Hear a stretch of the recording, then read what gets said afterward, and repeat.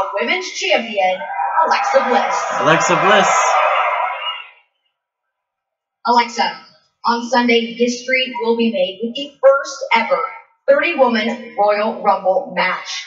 Now, the winner of that match will go on to face the champion at WrestleMania. So, do you think that you're still going to be champion come WrestleMania? Smart kid. What kind of question is that? You trying to insult me? Look, I'm not just a champion. I'm a goddess. And I.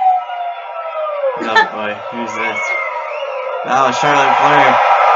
Both women champions face to face. The only reason you're the Raw Women's Champion She's so much is taller because her. I'm on SmackDown Live. And I highly doubt you'll still be the champ at WrestleMania.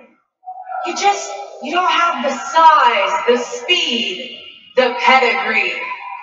And to paraphrase Let me guess, my they're gonna make a match just yet. To be the woman, you gotta beat the woman. And if you don't believe me, how about you ask him yourself? Ric Flair. You are lovely.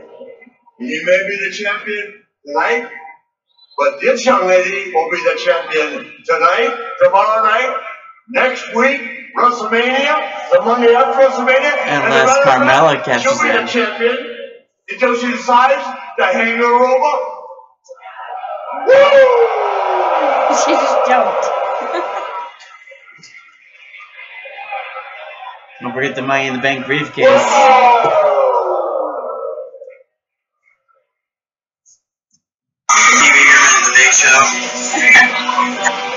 You're the Empress of Tomorrow. I'm the most must-see WWE superstar of all time.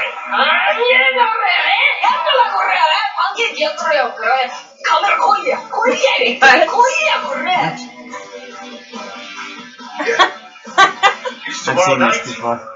We will win. We will win. Tonight. Tomorrow night. No, Facebook Watch Mixed Match Challenge. Asuka, Miz, hmm. 10 o'clock.